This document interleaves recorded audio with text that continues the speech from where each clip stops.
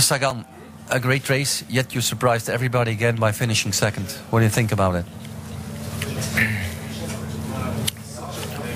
It's my destiny.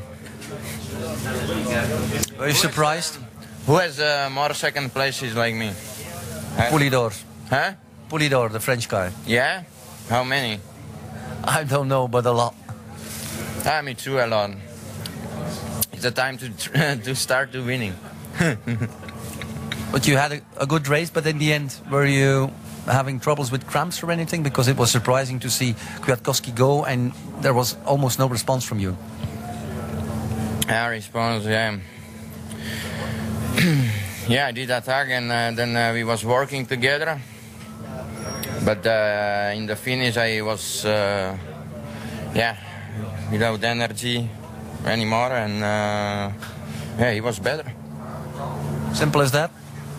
Ah, the cycling is simple, I think. Yet normally you have the uh, the fastest legs, and uh, you were in front. That was uh, Yeah, unusual. After after the the race like this, it's all different.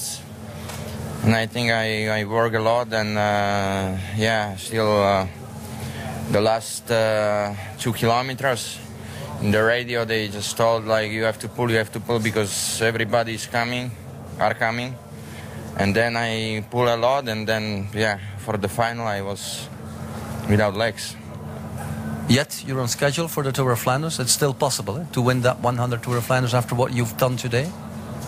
Why not? It's good training. This this is good training after San Remo.